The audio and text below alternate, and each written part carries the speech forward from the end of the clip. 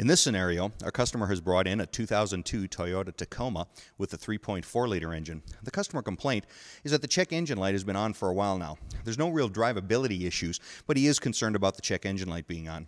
Now, I've already entered the vehicle, hooked up the scan tool, and extracted codes, and in this particular case, what we're coming up with is a trouble code indicating a problem with the front O2 sensor or the air fuel ratio sensor. The code is a P1135. So I'm going to go ahead and once again enter direct hit technician to find out about that code. But hey, I just want to show you one thing here real quick. We also have this section called component data. What component data allows you to do is pick up data on all the various components that are on this particular vehicle. And here's our air fuel ratio sensor right here near the top. Let's go ahead and look at that. I can look at the component, location, diagram, all kind of information. So let's go ahead and take a look at diagram here real quick.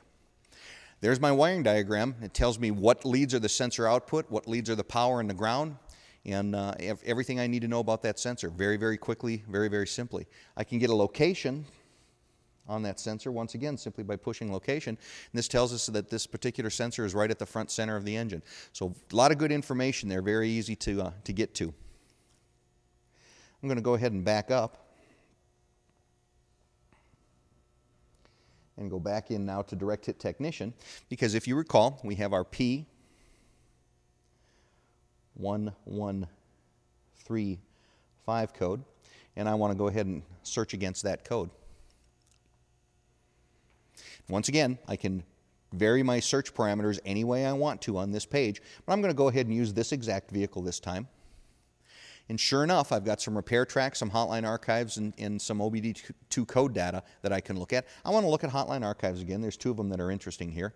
And look at that. The first one, 2002 Tacoma, and there's our code, P1135, with a confirmed fix. So let's take a look at that archive.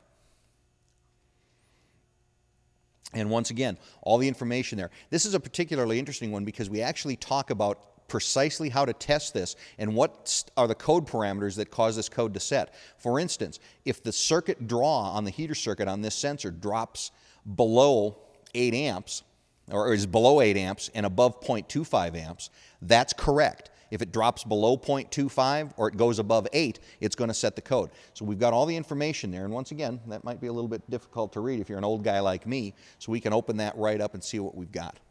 And in this particular case, if we go to our comment section, you can see there are literally dozens of reports indicating problems with the air fuel ratio sensor. So this one shows you just uh, exactly what to do, what to fix, and what guys like you in the field are finding to fix these cars.